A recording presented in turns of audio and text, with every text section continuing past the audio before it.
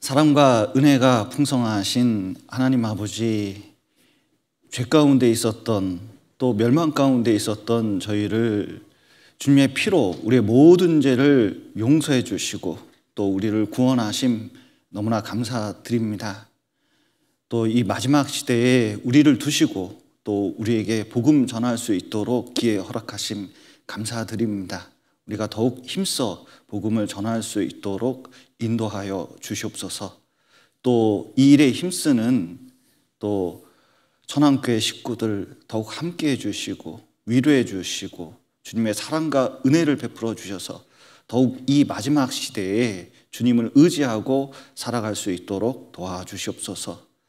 또 남궁훈 목사님께 더욱 함께 해 주시고 가는 곳마다 또 말씀 전하는 곳마다 더욱 구원의 역사가 일어나게 해주시고 또 천안교회 전도인에게 더욱 하나님의 사랑과 은혜와 말씀의 능력을 주셔서 더욱 우리 형제 자매님들께 주의 사랑과 은혜 또 말씀을 전할 수 있도록 도와주시옵소서. 또 우리 삶 가운데 여러 고난과 어려움이 있습니다.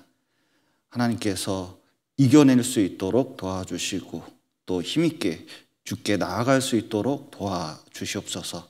시종을 주께 맡기며 예수님 이름으로 기도드렸습니다. 아멘. 예, 로마서 12장 예, 3절로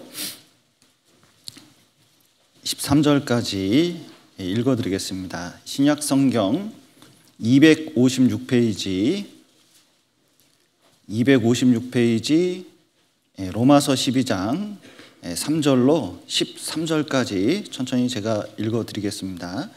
내게 주신 은혜로 말미암아 너희 중 각 사람에게 말하노니 마땅히 생각할 그 이상의 생각을 품지 말고 오직 하나님께서 각 사람에게 나눠 주신 믿음의 분량대로 지롭게 생각하라. 우리가 한 몸에 많은 지체를 가졌으나 모든 지체가 같은 직분을 가진 것이 아니니 이와 같이 우리 많은 사람이 그리스도 안에서 한 몸이 되어 서로 지체가 되었느니라. 우리에게 주신 은혜대로 받은 은사가 각각 다르니 혹 예언이면 믿음의 분수대로 혹 섬기는 일이면 섬기는 일로 혹 가르치는 자면 가르치는 일로 혹 권위하는 자면 권위하는 일로 구제하는 자는 성실함으로 다스리는 자는 부지런함으로 긍휼을 베푸는 자는 즐거움으로 할 것이라 이니라. 사랑엔 거짓이 없나니 악을 미워하고 선에 속하라. 형제를 사랑하며 서로 우애하고 존경하기를 서로 먼저 하며 부지런하여 게으르지 말고 열심을 품고 주를 섬기라. 소망 중에 즐거하며 환란 중에 참으며 기도에 항상 힘쓰며 성도에 쓸 것을 공급하며 손대접하기를 힘쓰라. 예. 예, 지금 3일 동안 생활 집회로 이제 교제 중에 있습니다. 그래서 코로나 이후를 생각했기 때문에 우리가 회복해야 될 것이 예, 무엇일까 이제 예, 생각하는 중에 처음 사랑을 회복하라 그리고 헌신을 회복하라 이 두 가지 주제 가지고 이제 그제와 어제 이렇게 다루었습니다. 그리고 또 회복할 것이 일상적인 이 교회 생활의 자세를 회복해야 되거든요. 이 코로나 때문에 new normal이라 그러죠. 쉬운 말로 새로운 일상인데 생활 패턴이 많이 바뀌었습니다. 그리고 교회에서도 방역 수칙 때문에 여러 가지 이제 못하는 것들이 많이 생겼죠. 예, 그러나 그것이 우리의 정상적인 모습은 아닙니다. 우리의 정상적인 교회 모습을 회복하고 또 그, 그 속에서 더욱 힘있게 나갈 필요가 있습니다. 전염병이 있든지 전쟁이 있든지 교회는 지켜왔습니다. 놀라운 것은 전염병과 전쟁 속에서 하나님께서는 교회에게 더 근본적인 게 무엇인지 가르쳐 주셨어요. 또 역사를 그것을 통해서 이끌으셨습니다. 코로나가 있을 때 우리에게 꼭 필요한 것 중에 하나는 신앙의 가장 근본적인 게 무엇이고 그리고 거기서 지금 생활하는 것 중에서 혹시 버려야 될 것은 버리고 그리고 가장 귀한 것은 더 취하는 방식을 취하는 것이 교회의 사명이라고 할 수가 있습니다. 그래서 특별히 신앙 생활은 생활 집회를 하고 있는데 신앙 생활의 핵심은 교회 생활이거든요. 누가 뭐래도 신앙과 교회 생활은 뗄래야 뗄 수 있는 게 아닙니다. 특별히 신앙 생활의 기초에 대해서 어제 말씀을 드렸습니다. 그것이 로마서 12장 1절, 2절이거든요. 영적 예배라고 하는데 그것은 우리 삶을, 우리 전 삶을 하나님이 기뻐하시는 거룩한 산제사로 드리는 겁니다. 그러니까 헌신하는 것이 실제로 예, 신앙생활의 기초라고 할 수가 있거든요. 그것을 이루기 위해서 이 세대를 본받지 말고 마음을 새롭게 함으로 변화를 받아서 예, 하나님의 예, 기뻐하시고 선하시고 온전한 뜻대로 사는 거예요. 그런데 이런 삶이 구체적으로 어떻게 이루어지는 거냐? 교회 안에 있어야 되는 거예요. 교회 안에 있어야 이 세대를 본받지 않는 거예요. 만약에 교회 밖에서 있으면서 이 세대를 본받지 않겠다. 그게 쉬운 일이 아닙니다. 쉬운 일이 아닐 뿐만 아니라 어려운, 불가능한 일이에요. 우리가 하나님을 올바로 섬긴다. 그럴 때 교회를 떠나서 생각할 수 있는 문제가 아닙니다. 그래서 구체적으로 교회 안에 있을 때 하나님께 헌신도 되고 그리고 올바른 예배도 이루어진다고 할 수가 있는 거거든요. 그래서 교회 생활이 굉장히 중요합니다. 특별히 우리가 교회에 대해서 잘 알고 있습니다. 교회가 뭐죠?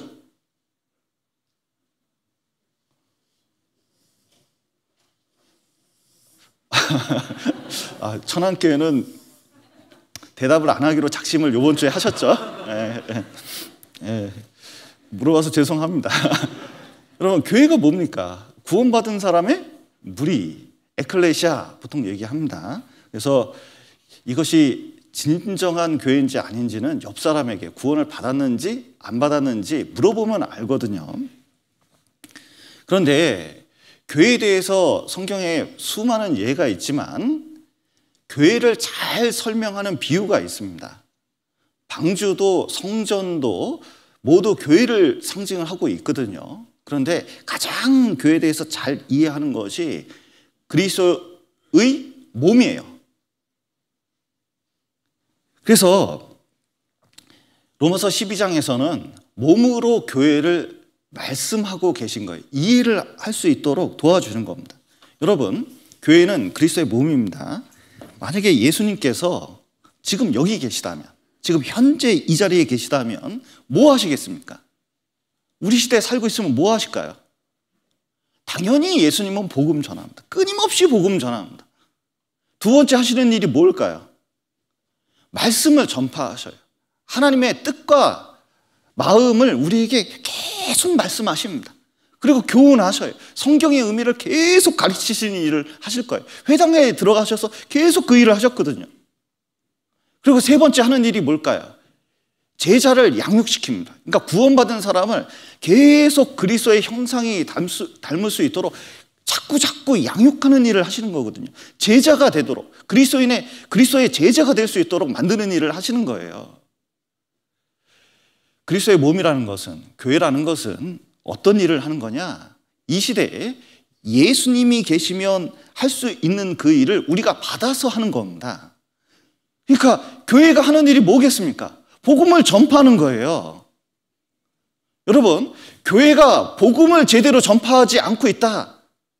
맨 주의 설교만 하고 있다. 시간만 때우고 있다. 진정한 교회겠습니까?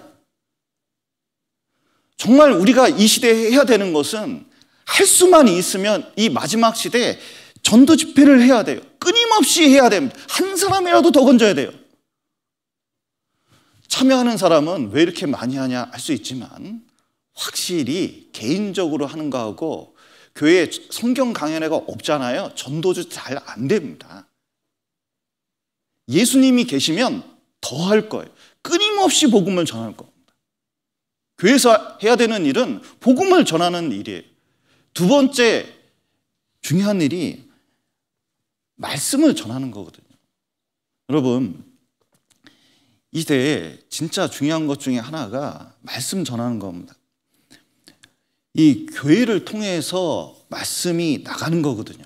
여기 한번 요한 1서 한번 보시죠.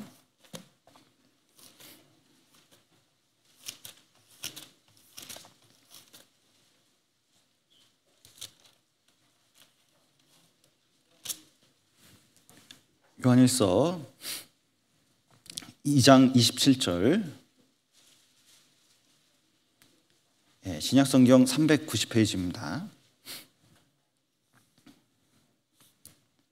너희는 주께 받은 바 기름 부음이 너희 안에 거하나니 아무도 너, 너희를 가르칠 필요가 없고 오직 그의 기름 부음이 모든 것을 너희에게 가르치며 또 참되고 거짓이 없으니 너희를 가르치시, 가르치신 그대로 주 안에 거하라. 예. 주 안에 거하라. 교회 안에 거하라. 이렇게 말씀드릴 수 있습니다. 몸된 교회 안에 거하라. 그러면 기름 부음, 성령을 상징하죠. 성령께서 이 안에서 말씀을 가르쳐 줍니다. 다른 교훈, 뭐 심리학이든 세상에 수많은 그 아, 자녀들을 가르치기 위해서의 수많은 책들도 나오고 뭐 그러는데 결국 시간 지나 보면 성경 말씀이 옳다는 것을 확실히 알게 됩니다. 성경을 정확하게 하는 게 너무 중요해요.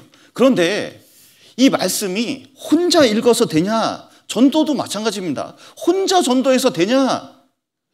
놀라운 것은 초창기에 이현 목사님과 우정호 목사님 간증을 제가 직접적으로 계속 들을 때가 있었거든요. 이현 목사님께서 3년 동안 혼자 전국 방방곡곡을 돌아다니면서 진짜 열과 성을 다해가지고 전도를 해봤습니다. 놀라운 것은 결과가 한 사람도 구원을 못 받았다는 거예요. 우종호 목사님도 그렇게 말씀하셨습니다. 대전에서 혼자 이렇게 해봤더니 구원의 역사가 안 나타나는 거예요. 수양회를 하고 전국에서 모여들기 시작하니까 점점 점점 구원의 역사가 나타나는 겁니다. 교회로 모였을 때 전도가 되는 거예요. 말씀도 마찬가지입니다. 성령이 교회들에게 하는 말씀을 들을지어다. 요한계시록 보면 교회마다 계속 그 말씀을 하셔요. 기름 부음이 성령께서 우리 시대에 우리에게 직접적으로 어떻게 통해서 우리에게 교훈하시느냐? 교회를 통해서 내게 말씀하고 계신 거예요. 그러니까 그것을 직접적으로 들을 수 있도록 교회에 참석을 하지 않으면 들을 수가 없어요. 여러분, 만나가 어디에 떨어졌는지 아셔요? 출애굽 당시에 만나가 이렇게 내리지 않았습니까? 어디에 내렸습니까? 이스라엘 진에 내렸다는 것을 이해할 필요가 있습니다. 불과 구름 기둥이 성령을 상징하거든요. 밤에 불이 나와가지고 따뜻하게 합니다. 그러면 연기가 쫙 올라가요. 그러면은 이 사막 기후라서요. 이제 해가 뜨면서 추운 날씨에 구름이 올라가서 데워졌다가 구름 같은 게 형성이 됩니다. 그러면 해가 딱 뜰 때쯤 되면요. 갑자기 이슬과 함께 쫙 내려요. 뭐가 내릴까요? 만나가 내립니다. 그러면 이스라엘 백성이 아침에 나와가지고 싹싹싹싹싹 걷어들이는 거예요. 그게 무엇을 상징하고 있냐면 이 말씀이 어디에 떨어지느냐? 어디에 떨어질까요? 이스라엘 진에 떨어지는 겁니다. 지금 이 시대에 내게 주는 말씀이 어디서 떨어진 구원받은 무리를 통해서 교회를 통해서 이게 떨어지는 거예요. 그것을 싹싹싹싹 긁어가지고 내 거로 만드는 게 이게 공급을 받는다고 할 수가 있거든요. 여러분, 신앙생활은 공급받는 생활이에요. 하는 거 이전에 교회를 통해서 하나님을 통해서 내가 공급을 받아야, 되거든요. 말씀의 공급을 받지 않으면 신앙생활을 제대로 할 수가 없습니다.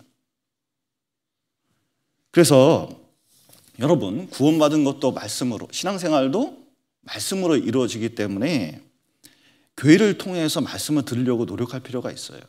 이제 여러 가지 온라인으로 또 유튜브로 말씀을 이제 듣게 되는데 온라인으로 듣는 것은 한계가 있다는 걸 좀 꼭 깨달으셨으면 좋겠습니다. 첫 번째, 온라인으로 들으면 자세가 바르지 않아요. 진짜 말씀을 들을 때 자세는 너무 중요한 거예요. 그런데 아무도 안 보는데 모니터 켜놓고 이렇게 있으면서 자세 바로 잡는다는 게 쉬운 게 아닙니다. 하나님을 기억하고 하나님 앞에 나오는 자세로 들으면 확실히 달라요. 그리고 교회당에서 들을 때도 잘 듣는 게 필요합니다. 이것을 사람의 말이 아니라 하나님이 여기 서 계시다고 생각하고 그리고 듣는 거예요. 저도 말씀을 전할 때 어떻게 하냐면 항상 그 하나님 아까 성도들 사이에 서 있다고 생각을 하고 하고 그리고 이 자리에 항상 저 뒤에 앉아가지고 예수님께서 여기서 외치는 모습을 늘 상상하면서 합니다. 그리고 그 마음이 무엇인지 그것을 어떻게 해서든 전하려고 하는 거거든요. 그렇기 때문에 자세는 굉장히 중요한 거예요. 그리고 교회를 통해서 듣지 않으면 온라인으로 들으면요. 이게 골고루 먹지를 못합니다. 필요한 것을 쭉 교회를 통해서 하는데 자기 필요한 것을 자꾸 듣게 돼요. 그래도 온라인 들으면 직접성이 없습니다. 여러분, 내장산이 얼마나 좋은지 아셔요? 정읍에 내장산이 있는데 저는 진짜 하나님께 감사해요. 정말 제 건강을 위해서 또 제 이 여러 가지 이 정신적인 부분을 위해서 하나님께서 선물을 기가 막히게 해주셨다고 생각합니다. 내장산을 가면 모든 것이 해결이 돼요, 일단. 경치가 너무 아름다워. 봄, 여름, 가을, 겨울. 특히 겨울이 얼마나 멋, 눈이 왔잖아요. 그럼 바로 내장산으로 달려가요. 하얀데 그 아름다움은 이로 말할 수가 없어요. 근데 사람도 안 와요. 우리 자매 둘이서요. 쫙 다니면 그 아름다움은 이로 말할 수가 없어요. 그래서 사진을 찍습니다. 그리고 다른 사람에게 보내요. 쫙 보냅니다. 그러면 직접 본 거하고 사진으로 본 거하고 똑같을까요? 다를까요? 이거 겪어봐야 돼. 진짜 말을 표현할 수가 없어요. 직접성은 완전히 다른 겁니다. 여러분, 설교도 직접 듣는 거하고 한 칸 있는 거하고 차이가 나요. 진짜 그렇습니다. 첫날 와가지고 이 칸막이가 없더라고요. 너무 놀랐어요. 근데 해보니까 없는 게 진짜 요것도 벽이야 보니까. 한계가 있어요. 여러분, 직접적으로 듣는 게 중요해요. 왜냐? 하나님께서 모세를 얘기할 때 하나님과 직접 대면한 사람이라고 그랬거든요. 대면이라는 단어가 거기 나오거든요. 그런데 이 대면한 사람을 함부로 다루냐? 왕을 아련한 사람은 존재 자체가 다른 사람입니다. 김정은하고 악수한 사람은 완전히 다른 사람이 되는 거예요, 북한에서는. 여러분, 직접적으로 하나님을 생각하고 직접적으로 그 말씀을 들으면서 직접성을 느끼는 사람은 완전히 천국과 지옥차입니다. 우리가 천국에 가서 하나님을 직접적으로 대면할 겁니다. 얼굴과 얼굴을 대하여 볼 것이요. 이렇게 돼 있잖아요. 직접 보는 게 천국인 거예요. 그런데 지옥은 어떤 것입니까? 한번 보시죠. 데살로니가 후서 1장을 보시죠.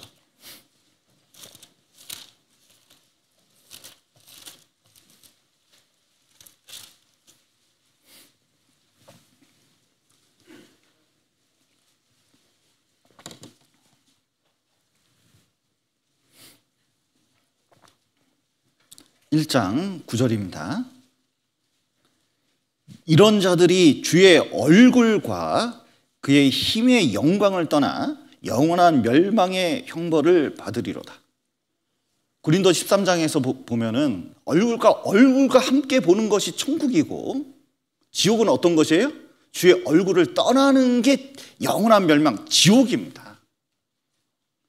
여러분, 신앙생활 속에서 뭐든지 직접적으로 하려고 하는 것이 얼마나 가치 있는 것인지 알 필요가 있어요. 그런데 온라인으로 계속 듣다 보면 이게 개인화되고 그리고 자기 입맛에 맞는 걸 자꾸 들으려고 그러고 그리고 나중에 대해서는 교회 생활 자체가 교회에서 뭘 하려고 그러면요. 자기가 자꾸 충성되지 않는 모습, 불순종하는 모습이 자꾸 나타나게 돼. 꼭 그렇게 해야 되냐? 어떤 목사님은 이렇게 얘기하던데 자꾸 이런 말이 나오게 돼요. 설교를 잘 들으면 그렇게 될 수가 없어요.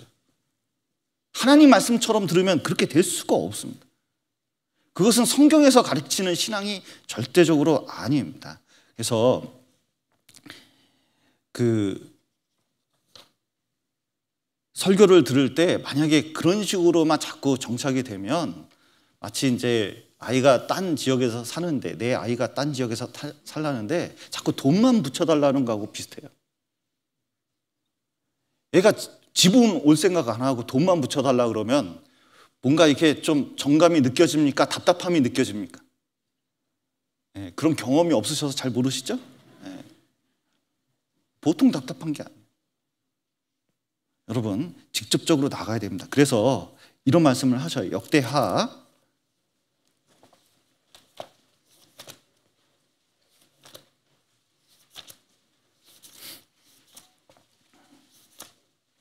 32장 12절입니다. 구약성경 701페이지.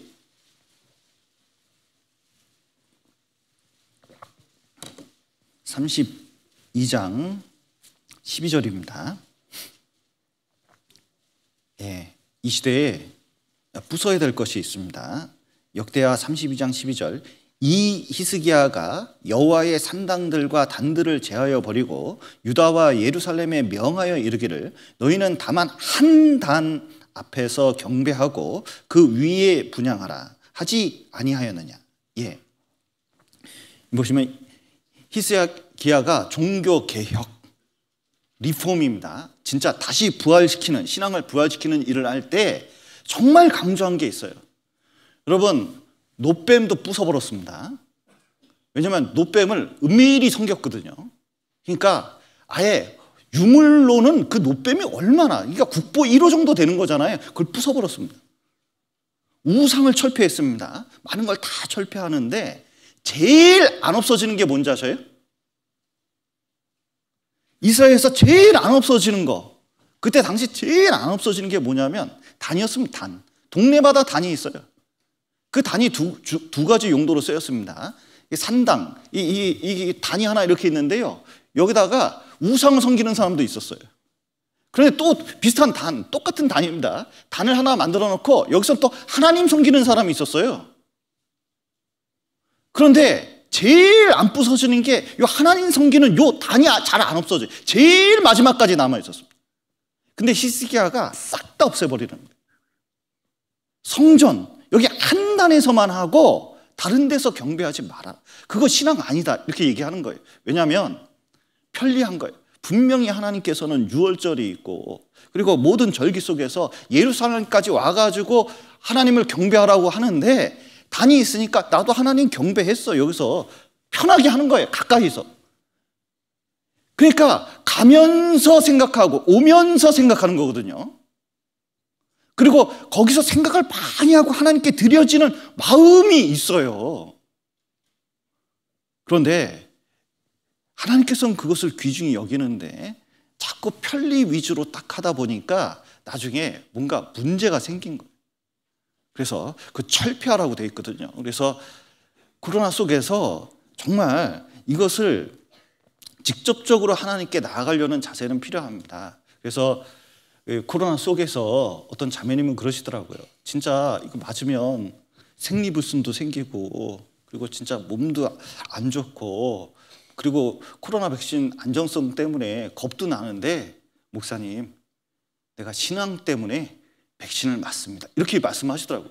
정말 순교의 정신으로 백신을 맞는구나. 제가 그걸 깨달았어요.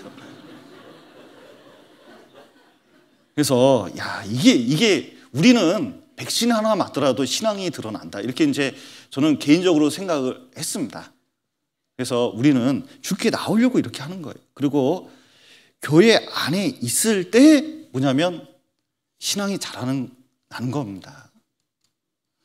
저 같은 사람이 저는 진짜 말 못하는 사람이거든요. 어디 가면 얼굴 빨개지고 그리고 이제 말도 두서가 없고 그런데 저 같은 사람이 강당에서 설교하는 게 주님의 능력입니다, 진짜.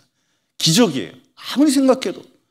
제 동생이 그 옛날에 다른 교회에 있었는데 그 포천교회에 있었습니다. 근데 설교 포천교회 이렇게 갔는데 이제 그 설교 단상에 쓰니까 교회 학교하고 늦게 들어오더라고요. 쓱 들어오는 모습이 뭐냐면 성경책 보면서 저를 이렇게 쳐다보더라고요. 이렇게 보면서 저 오빠가 말을 한 번도 한 적이 없는데 말을 하려나 이렇게 의심스럽게 야 걱정된다는 표정 있잖아요. 그리고 어떻게 노골적으로 그렇게 표정을 짓지 싶은 그런데 말을 하고 나서 야 진짜 신기하대요. 저 오빠가 말을 다 한다고. 여러분 이게 교회 안에 있으니까 변했다는 생각이 확실히 들어요. 우리 신앙도 교회 안에 있을 때 뭐냐면 신앙이 점검되는 겁니다. 여러분 구원의 증표가 뭡니까? 내가 구원받다는 확실한 증표가 뭡니까? 그것은 여기 한번 요한일서 2장 한번 보시겠습니까? 요한일서 2장 19절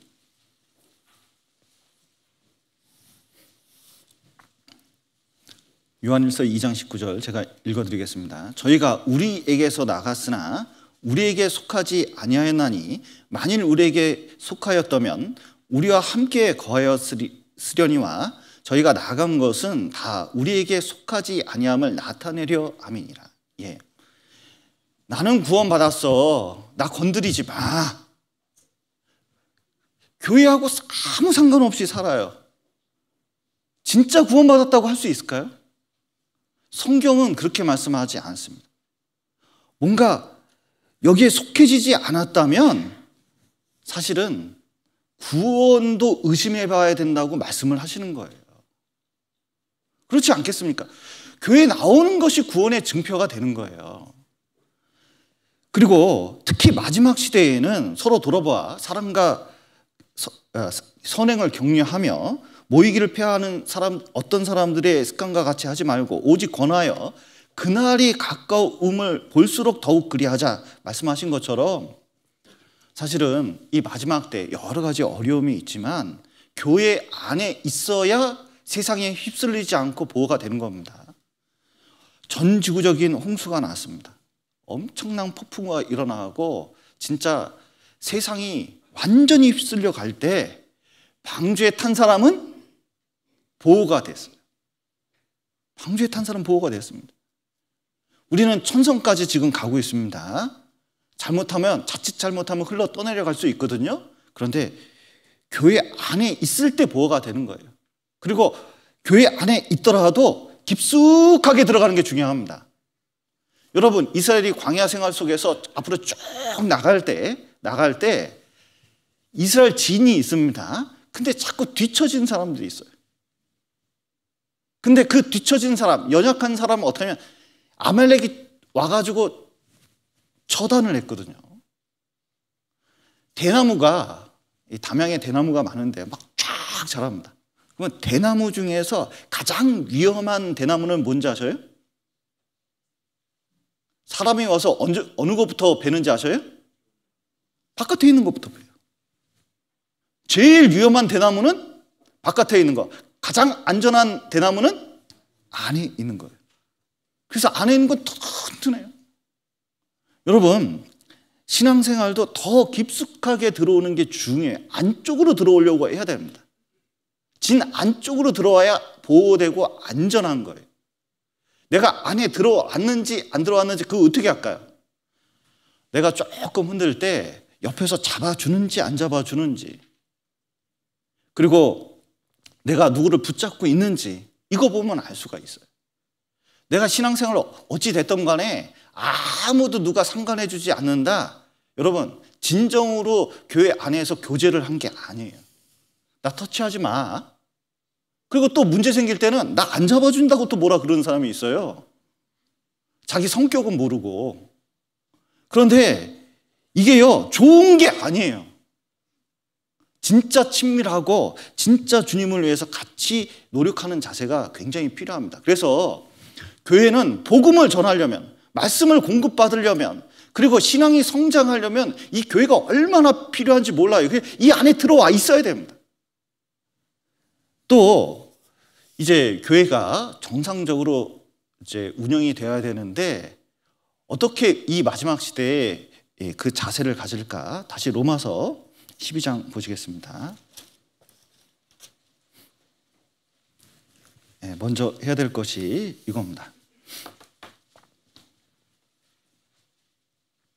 로마서 12장 3절부터 보시겠습니다. 내게 주신 은혜로 말미암아 너희 중 각 사람에게 말하노니 마땅히 생각할 그 이상의 생각을 품지 말고 오직 하나님께서 각 사람에게 나눠 주신 믿음의 분량대로 지혜롭게 생각하라. 우리에게 주신 은혜대로 받은 은사가 각각 다르니 혹 예언이면 믿음의 분수대로 혹 섬기는 일이면 섬기는 일로 혹 가르치는 자면 가르치는 일로 혹 권위하는 자면 권위하는 일로 구제하는 자는 성실함으로 다스린 자는 부지런함으로 긍휼을 베푸는 자는 즐거움으로 할 것이니라. 예. 교회가 회복되고 세워진다는 게 무슨 뜻일까? 가정이 회복되고 세워진다는 게 무슨 뜻일까? 가정에 남편이 아내가 자녀가 자기 역할을 회복하고 그리고 지켜주는 것이 가정이 세워지는 거예요. 가정이 깨지는 게 무엇이겠습니까? 자기 역할에서 벗어나는 거예요. 그래서 남편은 날라리고 아내는 그 카바레 다니고 요즘 카바레가 있나요? 네. 자녀들은 막 이렇게 이제 오토바이 타고 다니고 막 이렇게 이제 되면 이게 자기 역할에 소홀할 때 가정에서 얼마나 고통을 받습니까? 그런데 교회는 각자의 위치에서 각자의 역할을 할 때 교회가 세워지고 회복되는 거예요. 그 어느 교회 갔더니 벌통이 있더라고요. 교회에서 벌을 키우더라고요. 깜짝 놀랐어요. 벌통을 누가 이렇게 갖다 놓으셨는데. 근데 벌 얘기를 하시는데요. 야 재밌대요. 벌이 그렇게 다양하대요. 일벌이 있는데 그 벌 중에 병정벌이 있어가지고 입구를 지키는 별이 있고 장의사 별이 있대요. 그래서 이 벌통 안에서 죽는 것들이 있잖아요. 그러면요, 그걸 부지런히 장례를 치러요. 그리고 집을 수리하는 벌이 있고 놀라운 것은 여기 벌통 안에 꿀이 있잖아요. 습도를 유지하는 게 중요한데 습도를 유지하는 벌이 있대요. 그리고 집 앞에서 이 향기를 계속 풍겨가지고 집 오는 위치를 계속 알려주는 벌이 있고 그리고 나가서 오는 벌의 방향을 알려주는 벌이 있고 그리고 정찰별이 있고 여왕별이 있고 뭐 벌 종류가 엄청 많더라고요. 근데 벌통이 유지되려면 장의사 벌 하나만 없어도 어떻게 되느냐? 세균이 번져가지고 완전히 이 벌통이 망한다는 거예요. 여러분, 그리, 교회를 그리스도의 몸이라고 표현한 것은 지체 때문에 그렇습니다. 자 보십시오. 우리는 각자의 그리스도의 몸 중에 지체라는 거예요. 쉬운 말로 직분을 가지고 있다는 겁니다. 여러분 여기 여기 보십시오. 제 예, 지체를 보고 계신데 이 지체 중에 필요 없는 게 있을까요? 필요 없는 존재는 없다는 거예요. 어떤 분은 손톱이요, 머리카락이요 그러는데 여러분 이거 머리 하나도 안 나 보셔요. 어떻게 되겠나? 손톱이 하나도 없어 보셔요. 이거 어떻게 되겠나? 일을 못 해요. 우리는 의식도 못하고 평소에는 중요하게 생각하지 않았는데 눈썹이라도 하나 딱 없으면요. 이게 얼마나 불편한지 몰라요. 그래서 우리는 교회 안에 꼭 필요한 존재다. 또 지체라는 것은 뭐냐면 여러분 보십시오. 한 지체가 있는데 야 진짜 너무 고생했어. 진짜 너무 고생했다. 야 나 1년만 쉴래. 그리고 움직이질 않아요. 1년만.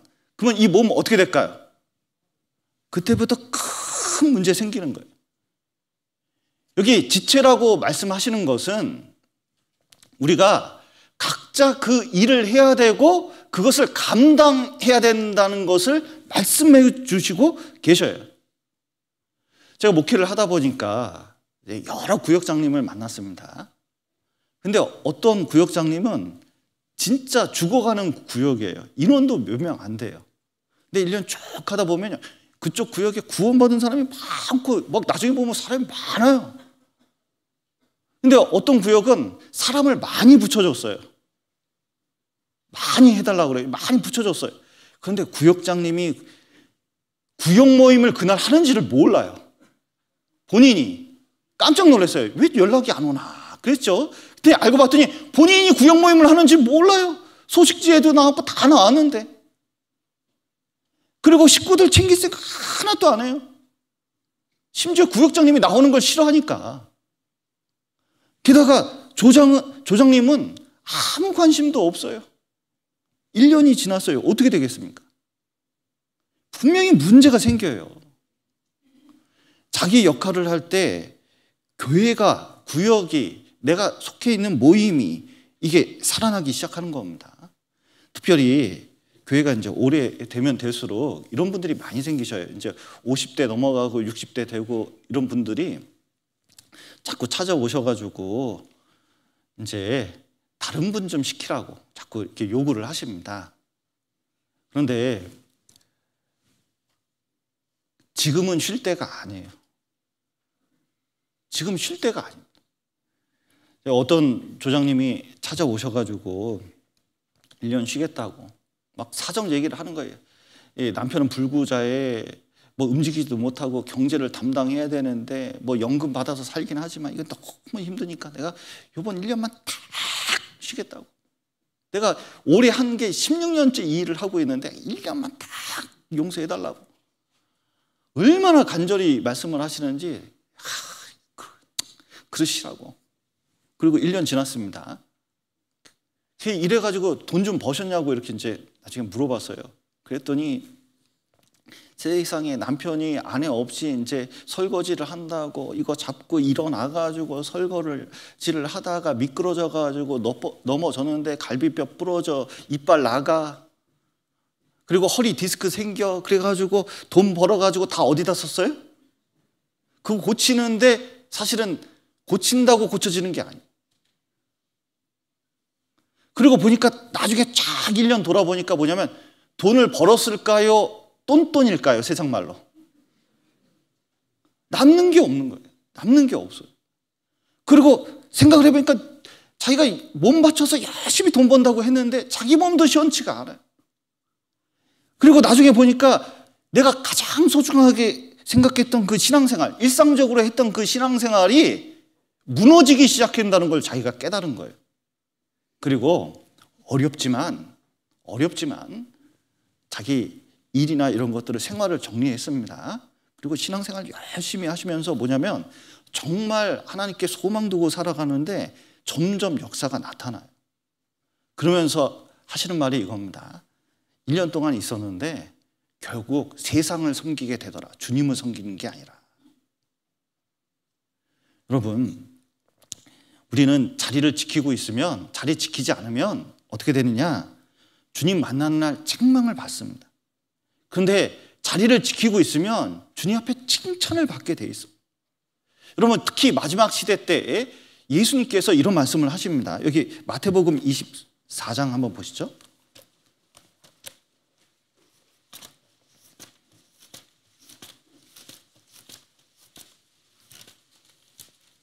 (24장) (44절입니다)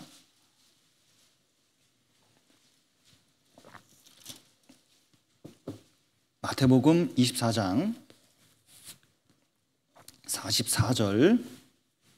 이러므로 너희도 예비하고 있으라. 생각지 않은 때에 인자가 오리라. 충성되고 지혜 있는 종이 되어 주인에게 그 집에 집 사람들을 맡아 때를 따라 양식을 나눠줄 자가 누구뇨 주인이 올 때에 그 종에 이렇게 하는 것을 보면 그 종이 복이 있으리로다 내가 진실로 너희에게 이르노니 주인이 그 모든 소유를 저에게 맡기리라. 예. 우리가 주님 오실 때 어떤 모습을 하고 있는 게 좋을까? 가장 중요한 것은 교회 안에서 자리를 지키고 있고 충성되게 그 일을 할 때 그 영광은 이루 말할 수 없는 거예요.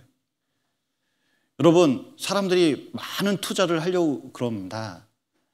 근데 진정한 투자는 뭐냐? 주님을 위해서 내가 살고 있는 그 자리를 지키고 있는 것. 이거 되게 중요해요. 그래서 여러분 교회당에 이렇게 들어오시면 자기 자리 있으시죠? 이. 아니 여기 들어오실 때 자기가 앉는 자리 대부분 다 있으시죠? 자기 자리 지켜야 됩니다. 진짜 자기 자리 있어야 돼요. 그게 신앙의 자리입니다. 웬만하면 좀 앞으로 땡기려고 노력하는 게 좋은데 그 신앙의 자리입니다. 그리고 구역에서 교회에서 어쨌든 자기가 지키고 있는 그 자리가 꼭 있어야 돼요. 그걸 지키려고 해야 됩니다. 두 번째는 다시 로마서 돌아가시죠.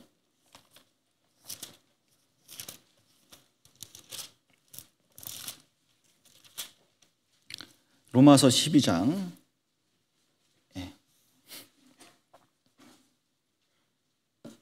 12장 9절 사랑엔 거짓이 없나니 악을 미워하고 선에 속하라. 예. 이 교회 안에서 이제 지체 여기 보면 그 3절에서 8절까지는 지체에 대해서 자기 역할을 하라는 겁니다. 이게 할 것이라 여기가 중요한데 진짜 그 어떤 역할을 맡으면 그 일에 충성되게 하라고 말씀을 하고 계신 거예요. 그런데 어쨌든 체계가 갖춰졌습니다. 이 체계가 갖춰지고 질서가 세워지고 그러면 그 다음에 중요한 것이 사랑하는 거거든요. 거짓 없는 사랑을 하는 게 얼마나 중요한지 몰라요. 이 교회 내, 이 몸을 보십시오. 얼마나 유기적으로 되어 있습니까?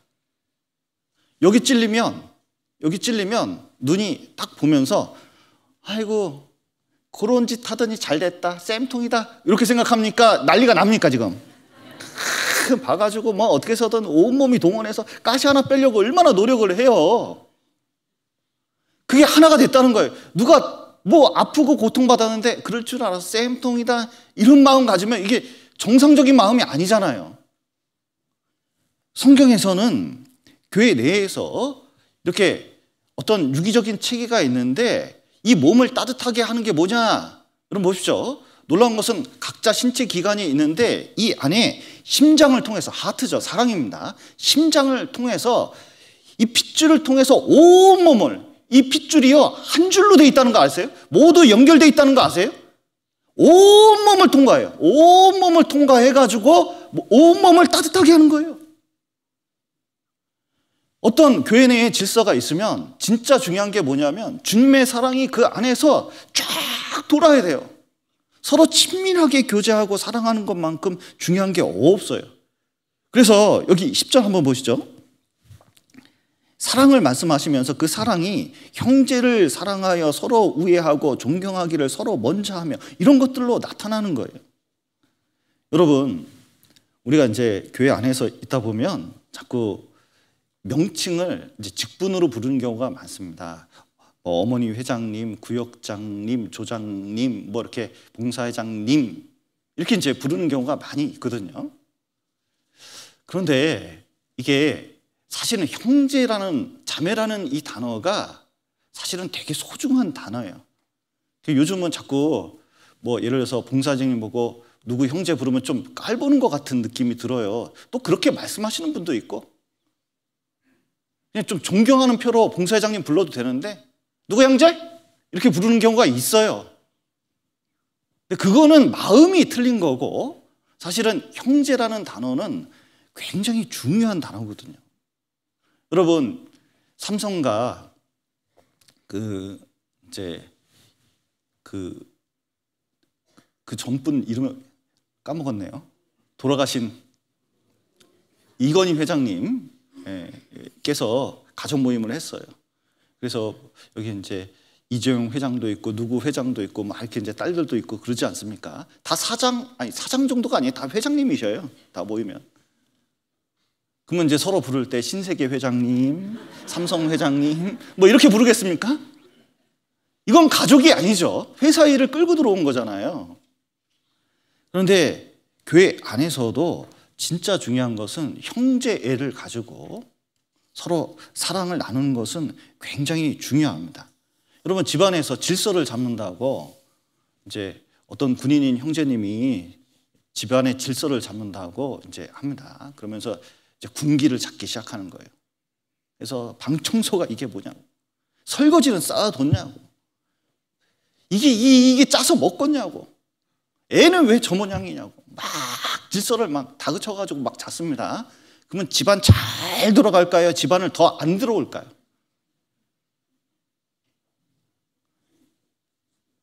이게 굉장히 힘들어지는 거예요.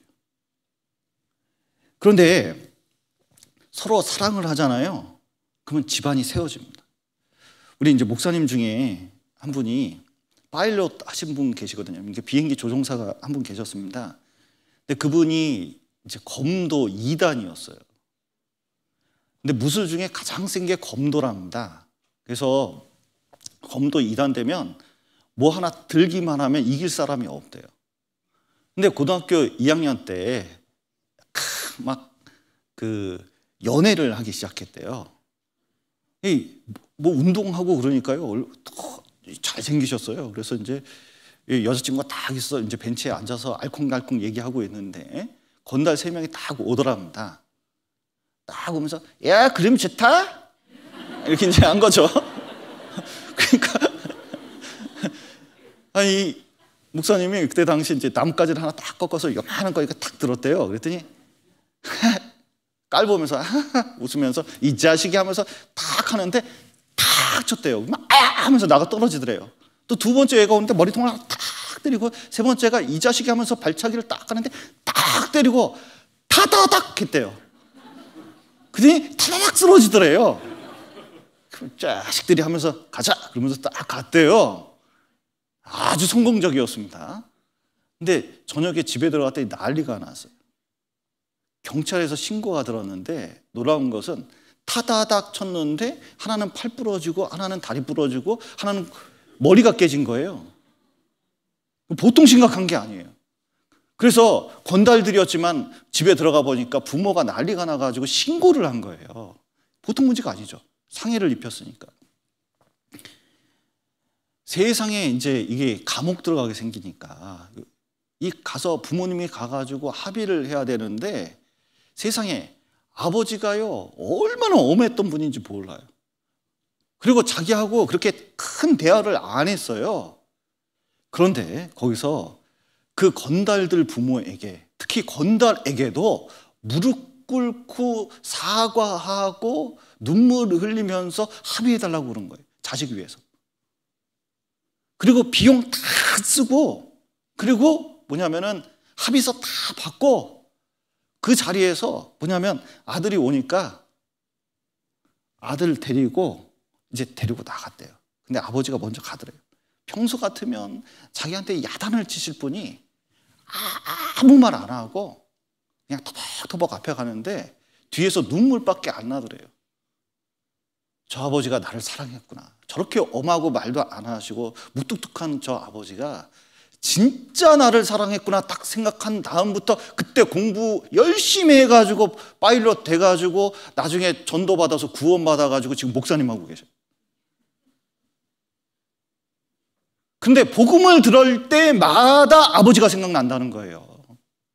나를 위해서 그렇게까지 하셨구나. 여러분, 누가 이 검도하고 망나니 같이 살던 삶을 변화시킬 수 있을까요? 그것은 사랑이 아니면 도저히 불가능한 거예요. 그래서 실질적으로 누군가 더 사랑하는 그 자세가 되게 중요해요. 여러분, 우리 교회가 이제 역사가 점점 40년 역사가 돼 갑니다.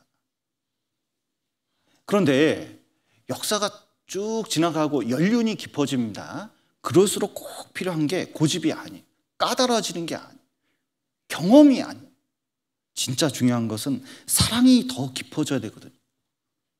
봉사가 더 많아질수록 진짜 중요한 것은 사랑에 더 집중할 필요가 있어요. 왜 신앙의 목적이 사랑이니까. 하나님이 사랑이시기 때문에 사랑 잃어버리면 다 잃어버린 거니까 아무리 뭐 불사르게 내어줄지라도 뭐 열심히 말할지라도 진정한 사랑이 없으면 다 끝나는 거예요. 그리고 사랑을 할 때 여기 다시 한번 보시죠. 구절 보시면 사랑엔 거짓이 없나니 악을 미워하고 선에 속하라 그랬는데 여러분 거짓된 사랑이 아니라 참 사랑을 할 필요가 있어요. 우리는 성경에도 보면 거짓된 사랑이 많거든요. 이 사기꾼 보면요. 진짜 이 사기꾼은 간이라도 내줄 것처럼 참 잘합니다. 그러니까 막 모두 사주고 모두 어떻게 하고 막 그러면서 막 하면서 얼마나 잘해주는지 몰라. 이런 사람이 없어요. 진짜 구원받은 사람이 사기꾼의 태도 중에 배울 게 이거예요. 진짜 잘 대해주는 거예요. 그러면 마음에 싹 가요. 그때 뭐 해요? 돈 좀 빌려줘. 그러면요, 이자 줄게. 높은 이자 준다는데 한번 딱 물리고 나선 갑자기 갑을이 바뀌어요. 돈을 받을 수 있을까요? 못 받을까요? 대부분 받기가 굉장히 어려워요. 근데 나중에 알게 돼요. 그 사랑이 거짓된 사랑이었다는 걸 깨닫게 되는 거예요. 그럴 때 환멸을 느끼게 되잖아요. 고통을 받게 되잖아요. 우리도 교회 안에 있을 때 여러분 진짜 참 사랑을 가지고 친밀하게 대하는 게 너무 중요합니다. 세상에 이런 말이 있더라고요. 성경에 나온 말은 아닙니다. 사람한테 당한 거 사람에게 풀어야 된대요. 무슨 뜻이냐? 어떤 사람에게 고통을 받았습니다. 내가 회복되는 방법은 정말 나하고 친밀하고 나, 내 마음을 알아줄 사람하고 가까이 지내면서 가까이 있다 보면 마음이 회복이 된다는 거예요. 우리는 때때로 마음의 상처도 받고 또 어려움도 있습니다. 그때 서로 우애하는 마음이 필요해요. 친밀하게 지내는 게 필요합니다. 그 옛날에 어렸을 때 이런 거 있잖아요. 어떤 형님이 있는데 이 형님이 이제 장남이라 이렇게 이제 농사를 짓고 쫙 해요. 그 아우가 저 밑에 마을에 살고 있는데요. 자기도 농사 짓고 쫙 살고 이제 추수 때가 돼가지고 많이 소출을 얻었습니다. 그런데 이제 장남이 생각을 해보니까 아우가 땅도 적고 뭐 가, 가족도 있는데 얼마나 힘들까. 그래서요 밤중에 그래 아이고 아내한테 얘기하지 않고 우리 그 동생한테 쌀 좀 한 가마니 갖다 주자. 그리고 지고 막 갔습니다. 쭉 내려갔죠. 그리고 집에 탁 돌아왔는데 세상에 분명히 우리 집에 스무 가만이 있는데 그대로 스무 가만이에요. 허 이상하다. 내가 잘못 갖다 놨나? 그리고 이제 또 분명히 세고 또 하나 갖다 놨어. 이거 쭉 가가지고 동생 집 몰래 한 가만히 갖다 놨거든요. 또 집에 오니까 또 스무 가만이에요. 너무 신기한 거예요. 어 이상한데 한 가만히 더 챙겨가지고 동생 한번 쭉 가는데 다리에서 동생이 오는데 가만히 지고 오네. 동생은 그렇게 생각한 거예요. 아니 형이 그냥 장남이고 손님이 얼마나 많고 보살필 사람이 얼마나 많냐. 저기 땅은 좀 더 있는 것 같지만 분명히 쓰임새가 많아가지고 힘들 거다. 그래서 한가만히 자기 챙겨가지고 밤중에 모아 있어요. 추수 때 되니까 형님 생각해서 한가만히 갖다 놓은 거예요. 결국은 자기 집에 가만히 있으는 똑같아요. 그런데 둘이 만나가지고 어떻게 했는지 아세요? 아이고 형님, 아이고 동생 그러면서 뭐가 더 좋아졌어요? 형제가 기가 막힌 겁니다. 그 집안은 되는 집안이에요. 여러분, 우리가 때때로 형제자매님에게 뭐 주고 또 받고 막 그렇습니다. 그럼 나중에 생각하면 나간 거 들어온 거 하면은 쌤쌤일 수 있어요. 근데 뭐가 좋아졌어요? 나중에 보면 형제밖에 없다는 거 알아요. 우리 육신의 가족도 있고 뭐도 있지만 진짜 이 신앙 안에서는 형제밖에 없다는 거 딱 알게 돼요. 진짜 형제가 소중하다는 거 딱 알게 돼요. 여러분, 주 안에서 형제 사랑하는 게 어떻게 나타나느냐? 형제 자매를 교회에 있는 식구들을 존중하는 데서 귀하게 생각하는 데서 있는 거예요. 우리가 교회를 중요하게 생각할 줄 알아야 됩니다. 형제 자매를 귀하게 생각할 줄 알아야 돼요. 하나님은 우리를 굉장히 귀하게 생각했어요. 굉장히 귀하게 생각했습니다. 자, 보세요. 집에 탕자가 하나 있습니다. 이 둘째 아들이요. 워낙 호랑방탕 해 가지고 어느 날 이 부자 아버지한테 와가지고 아버지, 어, 아버지 돌아가시면 저한테도 좀 재산 주실 거죠? 아이, 그게 그렇지, 임마. 아버지 지금 줘. 이렇게 나가는 거예요. 막 나가는 거죠. 아이, 이놈은, 그건 나중에 죽은 다음에 가져가야지. 지금 주면 어떡하냐고, 이놈은. 앉아! 그러면서 막 행패를 부리는 거예요. 막 떼공정을 쓰고. 도저히 안 돼요. 그래서 재산, 아유, 참, 이거 주면 어떻게 될란가 모르지만 다 줬어요. 어거지니까 이게 줬어요. 그랬더니 아니나 다를까 그 재산 딱 가지고 바로 집 뛰쳐나가는 거예요. 어디로 가겠습니까? 지금으로 치면. 라스베가스 같은 데 갔겠죠. 그리고 막 땡겨 하면서 막 허랑방탕하게 막 그러다가 한참 땡기다 보니까 갑자기 IMF 찾아오고 기근이 막 찾아오고 막 그러는데 돈을 다 잃게 된 거예요. 그런데 어느 집에 가서 먹, 먹고 살아야 되니까 돼지 치는 일을 했는데 양도 아니라 돼지를 쳐요. 근데 돼지가 먹는 주염 열매도 없어가지고 그것도 못 먹고 있는 거예요. 그러니까 너무 줄이고 고달프고 그러니까 그대서야 뭐 생각나요? 아버지 생각. 그래서 아이고 근데 면목이 없어요. 내가 생각해도 나는 인간도 아니야. 도저히 아버지 면목이 없어요. 아버지는 너무 존경스러운 분인데. 그래도 이거 너무 배는 고프고 이거 죽겠고 근데 아무리 생각해도 세상 사람 이렇게 힘든 시기에 나 봐줄 사람은 없고 아버지한테 가서 아들이라 그러고 너무 면목이 없고 가가지고 진짜 종으로만 먹을 것만 달라고 하자. 아휴 하면서 어떻게 나 얼굴 보지 하면서 막 털레 갔어요. 근데 아버지 어떻게 하고 있어요? 동구 밖에 나와요. 동구 밖에. 마을 바깥에 와서 아들 맨날 기다려요. 그리고 아, 아버지가 아들을 먼저 알아봤어요. 아들이 아버지를 먼저 본 게 아니라 가가지고요. 얼싸안았어. 그리고 신발을 신기고 가락지를 끼우고 새 옷을 입히고 송아지 한 마리 잡아버리고 왜 그랬을까요? 왜 그 아들을 그렇게 해줬을까요? 귀하니까. 여러분, 나 같은 죄인 위해서 왜 예수님께서 이 땅까지 오서, 오셔서 십자가에 죽으셨을까요? 진짜 귀하니까. 우리가 피 발린 사람들입니다. 이게 보통 귀한 사람들이 아니에요. 그리고 우리 안에 그리스도가 있습니다. 옆 사람 한번 봐보셔요. 피 발린 사람입니다. 예, 그 안에 그리스도가 있습니다. 교회는 그런 사람들이 모인 것이 얼마나 주, 중요한지 몰라요. 그래서 존중하는 마음을 가져야 돼. 교회에 대해서 존중하는 마음을 가져야 돼요. 중요하게 생각해야 돼. 소중하게 생각해야 돼요. 특별히 교회 내에서 존중해야 될 대상이 있습니다. 누구를 존중해야 되냐면 좀 교회 그 형제는 다 똑같다. 물론 형제는 하나님 앞에 다 존중합니다. 그런데 가정 안에서도 애가 그런 거예요. 우린 다 사람인데 다 똑같구만. 아버지나 나나. 씨. 이거 정상적인 말입니까? 애가 조금 이상합니까, 지금? 이게 좀 이상한 거예요. 이게 평등하다는 거, 존재감이 중요하다는 게 이게 똑같다는 것이 질서를 파괴하는 건 아니거든요. 교회에서는 전도인과 앞에서 일하는 일꾼들 있잖아요. 존중해 주라고 그럽니다. 존중해 주라고. 왜냐하면 누구를 위해서? 나를 위해서 존중하라고 그래요. 성경을 잠깐 보시죠. 예. 디모데 전서 보시겠습니다. 디모데 전서 5장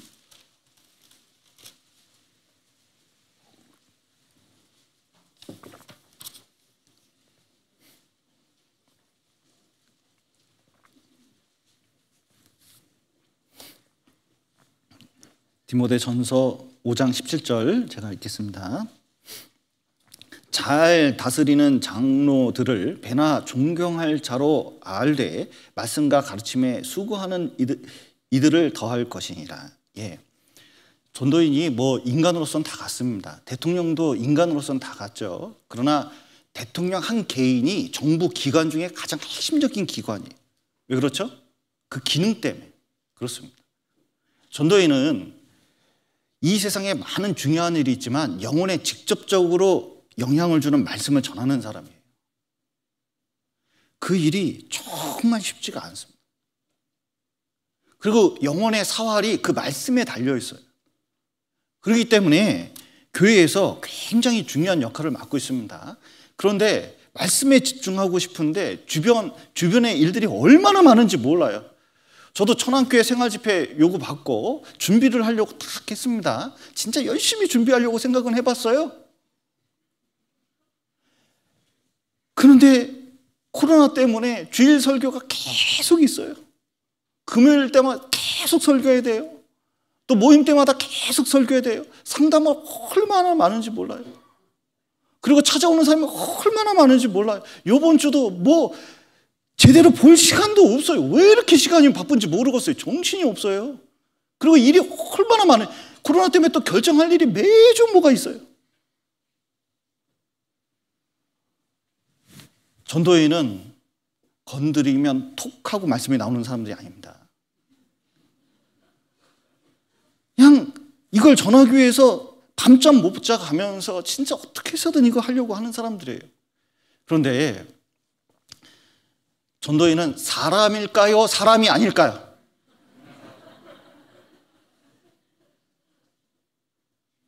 여러분, 전도인도 사람입니다. 그런데 힘을 받아야 돼요. 이 기록이 쫙 날아갈 때 앞에 있는 기록이 가장 힘세다 그러죠. 푸덕푸덕 하면서 날아갑니다. 그러면은 이 공기 저항 때문에 뒤에 있는 그 기록이들은 70%가 힘이 감소, 가, 그 이렇게 충분히 감소될 수 있다 그러죠. 앞에 있는 기록이 때문에 그런 거거든요. 근데 기러기가 가다가 이렇게 보니까 앞에 있는 기러기가 힘이 없어요. 그럼 뒤에 있는 기러기가 하는 행동이 있습니다. 뭐 할까요? 외쳐요. 끼락끼락, 끼락끼락, 뭐 힘내라고. 그리고 나중에 되면은 바꿔주는 일도 생기고 그러거든요. 아브라함 링컨 대통령이 암살을 당했습니다. 그리고 스미소니안 박물관에 이 암살 당시에 입었던 옷 그리고 안경집 그리고 연필깎이 그때 당시 이제 연필깎이가 필요했거든요. 칼 그리고 그 5달러짜리 지폐 뭐 등등 발견됐는데 그 안에 신문 조각 하나 있더라고요. 그 신문 조각 요만한 건데 아브라함 링컨이 남북 전쟁 할 때니까 얼마나 정치적으로 공세를 많이 받았는지 몰라요. 그런데 항상 누가 자신에 대해서 자신의 판단에 서 뭐라고 할 때 이 안에서 딱 하나 포면서 위로를 받은 게 있답니다. 어떤 기자가 이렇게 썼어요. 링컨은 모든 시대의 가장 위대한 정치가 중 한 사람이다. 그게 요만하게 기사를 했거든요. 누가 막 뭐라 할때싹 꺼내서 보는 거예요.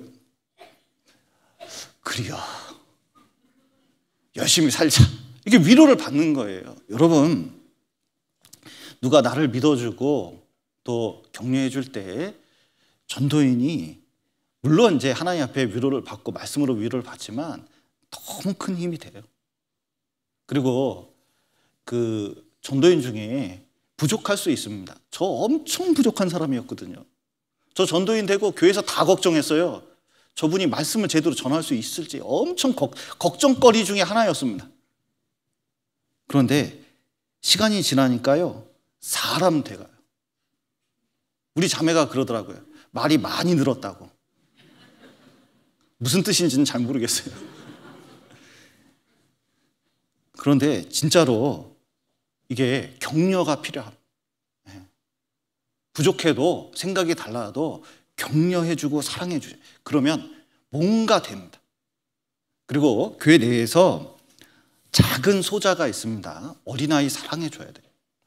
저는 그 교회 학교 이렇게 옛날에 했기 때문에 종이접기를 되게 좋아해가지고 교회 무슨 구역 모임이나 모임하면 애들이 막 방황하는 애들이 있거든요. 유치부 애들. 걔네들을 내 담당해요.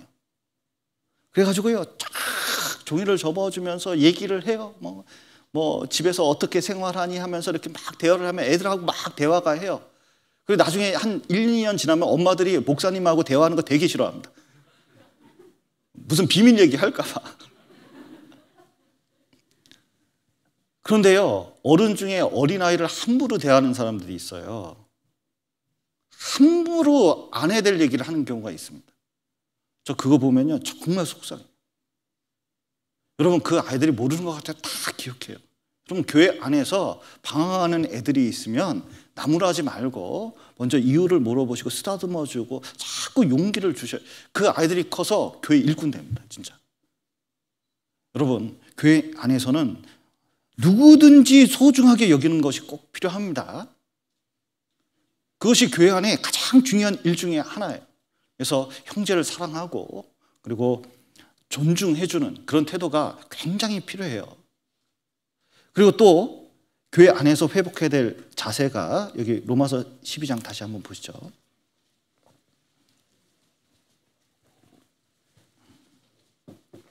11절입니다. 부지런하여 게으르지 말고 열심을 품고 주를 섬기라. 예. 그 교회 안에서 우리가 직분을 맡고 서로 사랑합니다. 그러면 교회가 세워져요. 그 천국과 지옥 차이가 서로 사랑하고 존중하는 데 있습니다.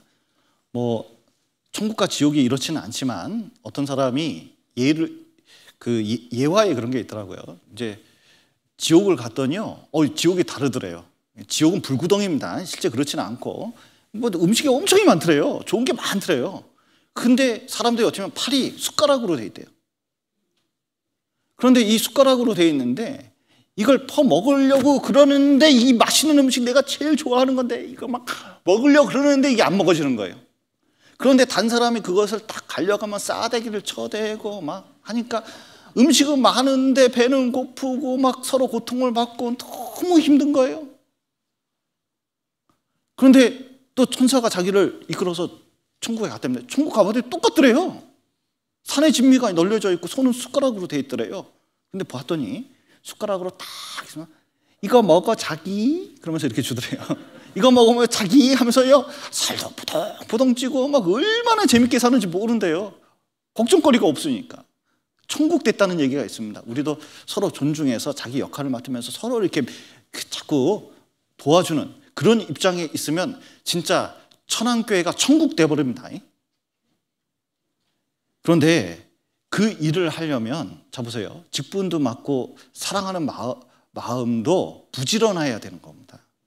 여기 그 되게 유명한 거죠. 여기 그 방금 읽은 본문 여기 보면 부지런하여 게으르지 말고 열심을 품고 주를 섬기라. 이걸 네 글자로 줄이면 뭔지 아셔요? 어, 예. 북의 열주. 앞자만 따서 북의 열주라고 우리가 잘 알고 있습니다. 사랑도 직분도 부지런 게으르면 아무것도 안 돼. 사랑도 게으른 사람이 할 수가 없습니다. 여러분 시간 약속 안 지키는데 어떻게 같이 만날 수가 있어요? 그리고 어떻게 해서든 서로 간에 노력을 해야 사랑도 되고 직분도 이루어지는 건데 게으른 사람은 아무것도 할 수가 없습니다. 하나님은 우리가 죄진 다음부터 얼마나 지금까지 쉬지 않고 일하셔요. 예수님도 얼마나 부지런하게 다니셨는지 몰라요. 예수님의 제자들은 다 일꾼이었습니다. 그러니까 일하던 중에 불렀어요. 그물 깁다가 그, 그 고기 잡다가 소 치다가 다 불렀어요. 그러니까 누구 부른 거예요? 부지런한 사람 부른 거예요. 그리고 부지런하고 게으른 것은 요즘은 대부분 일을 열심히 다들 합니다. 그런데 뭘 게으르다 하면은 딴 일 하는 사람. 자 보세요. 애 보고 야 내일 숙제 좀 해라. 그랬더니 만화책 읽고 있네. 그러면은 열심히 만화책 읽고 있어요. 그러면 일하고 있는 겁니까? 지금 게으른 겁니까? 내일 숙제 안 하고 지금 이거 이거 하고 엄마가 뭐 요거 요만큼 해 근데 그거 안 하고 딴 거 하고 있어요. 그러면은 속 터집니까? 제가 열심히 뭐 하고 있구나 이렇게 이해를 합니까? 이? 여러분 어떤 일에 집중해서 하느냐가 부지런함을 결정하는 겁니다. 나 먹고 살기 위해 열심히 살잖아. 아, 물론 열심히 살죠. 그런데 여러분, 하나님께서 우리에게 주신 일이 있어요. 그것은 망가지고 있어요. 신앙의 밭이 있는데 여러분 구원을 받으면 겨자씨 하나를 가지고 한 사람이 겨자씨 하나 가지고 자기 밭에 심는다 그랬거든요. 구원 받으면 전도할 내 밭이 있어요. 그리고 교회 안에 분명히 자기 역할을 주신다고 성경에 돼 있어요. 그런데 거기에 부지런하지 않은 거예요. 가꾸지 않은 거예요. 그러면 점점 문제가 생깁니다. 여기 잠언 24장 한번 보시죠.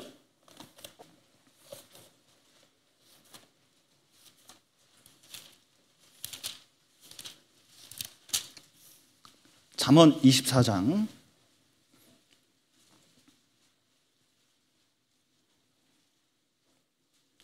내가 증왕에 게으른 자의 밭 과 지혜 없는 자의 포도원을 지나며 본즉 가시 덤불이 퍼졌으며 거친 풀이 지면에 덮였고 돌담이 무너졌기로 내가 보고 생각이 깊었고 내가 보고 훈계를 받았었노라. 내가 좀 더 자자 좀더 졸자 손을 모으고 좀 더 눕자 하니 내 빈궁이 강도같이 오며 내 곰핍이 군사같이 이르리라. 예. 어떤 게으른 사람이 이제 밭에 나갔습니다 이제 밭에 나가가지고 이제 일 좀 하려고 소출을 거두려고 이제 생각을 하고 싹 나갔거든요. 나갔는데 아이고 보니까 어제 비가 와가지고 비가 와가지고 물이 찰랑찰랑한 것이 보니까 잡초가 조금 나는데 귀퉁이 좀 나는데 아이고 이거 뭐 장화 신고 뽑으려니까 이거 이게 일이 되겠어요? 아이 마른 다음에 하자. 그리고 이제 싹 들어왔습니다. 그리고 이제 며칠 지나니까 싹 이제 물 빠지고 이제 조금 말라서 이게 잡초 이제 뽑아야 되거든요. 근데 잡초를 뽑아야 되는데 아 세상에 비 지나가고 며칠 지나니까 잡초가 쑥 더 자라가지고요. 이게 잘 뽑아지지가 않는 거예요. 근데 요만큼 있는데 아이고 요거 아 요거 조금만 더 이렇게 무리를 졌을 때 딴 일 하면서 이렇게 확 처리를 해버리려고 이제 기다렸어요. 그랬더니 세상에 이게 퍼져, 잡초가 확 퍼져가지고 그 안에까지 쫙 들어간 거예요. 하는데 막 잘 안 되는 거예요. 이게 뭐 이게 이게 일이 커졌어요. 아유 보니까 햇볕이 너무 뜨겁고 너무 담으니까 도저히 안 되겠어요. 이거 아유 조금 해가 가라앉은 다음에 좀 해야겠다. 그래가지고 이제 또 덜 뜨끈뜨끈 할 때까지 기다렸죠. 그랬더니 온 맛이 잡초요. 그래서 이제 나가가지고 생각을 했습니다. 자, 이거 어떡할까? 일이 커졌어요. 어떡할까? 가시덤불이 막 돌아다니고 있습니다. 어떡할까? 에이, 올해 농사는 망했네. 그리고 들어간 거예요. 교회 신앙도 여러분, 1년 동안 말씀 잘 읽으셨어요? 예. 네. 뭐, 목표량 일독 다 하셨습니까? 예. 감사합니다. 예. 여러분, 전도하는 거 다 하셨어요? 그리고 구역을 보살피고 형제자매를 보살피는 거 다 했어요. 그리고 자기 가족들에게 복음 전하는 거 우리가 늘 부족하지만 여러분 어떤 사람은 할 수 있는데도 안 했기 때문에 복음이 안 전해지고 그리고 자기 신앙이 성경을 자기가 기준이 세운 것보다 너무 안 읽었기 때문에 자기 마음이 엉망진창인 경우가 얼마나 많은지 몰라요. 그러니까 말도요, 그런 말을 안 해야 되는 거 알면서도 뭐냐면 이상한 말이 자꾸 나가는 거예요. 행동도 그렇게 안 해야 되는 걸 알면서도 그런 행동이 자꾸 나가는 거예요. 신앙이 점점 무너지고 있어요. 뭘로 무너지고 있냐면 자기가 무너지고 있는 거예요. 가만히 생각해보면 뭐 때문에 무너진 거냐면 게을러서 신앙에 부지런함이 없어요. 원래 구원받으면 이 안에 열정, 열심이라는 단어가 신앙 안에서라는 뜻이거든요. 헬라 원어 분석해보면 그렇습니다. 구원을 받으면 열정이 생겨요. 세상에서 막 나가던 사람이 있었습니다. 술 먹고 죽으려고 그랬어요, 그분은. 그래서 술 먹고 죽으려고 막 술을 맨날 마셨어요, 맨날. 그러다가 어떤 분을 우리 형제님이 전도하려고 그러는데 나 전도하지 말고 진짜 저 인간 저 인간 말종 진짜 저저 저 사람 좀 전도해 보라. 가서 전도했더니 말씀을 듣겠다 그러네. 일주일 동안 쫙 말씀을 듣더니요 구원을 받았어요. 피던 담배를 당장 끊어버리더라고. 야, 내 밥 사줬지 그래서. 아니 술을 당장 끊어버리더라고요. 그런데 이 간증을 하는데요. 같이 교제를 하는데 그 전엔 진짜 죽어버리고 싶었대요. 왜 아내하고 이혼하고 병 오지 재산 다 날려버리지 진짜 빚도 갚을 수가 없지 이 세상 사는 낙이 하나도 없는 거야. 그냥 차라리 죽어버리자. 자살하긴 그렇고 술 먹고 죽자. 막 이러고 계속 한 거예요. 그런데 딱 구원을 받으니까 이게 아니에요. 내가 지금 당장 돈이 없고 뭐 생활이 다 나아진 건 아니더라도 야 내가 천국 보고 살아갈 수가 있구나. 딱 그러면서요 얼마나 부지런한지 몰라요. 얼마나 열심히 살았는지 몰라요. 세상에서는 완전히 이제 루저라 그러죠. 이 바닥 바닥을 친 인생인데 세상에 그렇게 열심히 살더니 지금은 딴 교회 장가 가 가지고요 얼마나 열심히 사는지 몰라요 얼마나 신나게 사는지 몰라요. 저번에 한번 만났거든요. 10년이 지난 다음에 만났는데 지금은 뭐 얼마나 참 잘 사는지. 그분 인생을 왜 바꿨는지 아세요? 그분이요. 사는 거 보니까 부지런해요. 열심히 살아요. 주를 위해서 열심히 사니까 교회 안에서 점점 시간이 가면서 하나님이 도와준다는 게 느껴져요. 직업도 교회 안에서 연결이 돼가지고 우연하게 연결이 되고 막 이게 점점 점점 세워져요. 여러분, 신앙생활 부지런하게 할 필요가 있습니다. 뭐에 부지런해? 말씀 듣는 데 좀 부지런할 필요가 있어요. 전도하는데도, 그리고 형제 자매 섬기는데도, 그또 힘써야 될 것 중에 자녀들 신앙 교육을 이거 힘쓸 필요가 있거든요. 성경에서는 우리가 부모로서의 역할을 하라고 되어 있습니다. 여기 신명기 한번 보시죠.